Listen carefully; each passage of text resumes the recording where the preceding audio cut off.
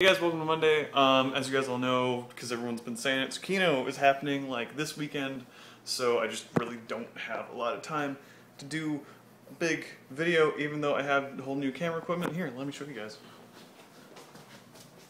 Because I have my camera that every once in a while as I, I used to do stuff on, but now I have a nifty difty tripod and a, and a nice little mic on there. Even though I'm kind of troubleshooting it right now because I it, it just won't do its thing.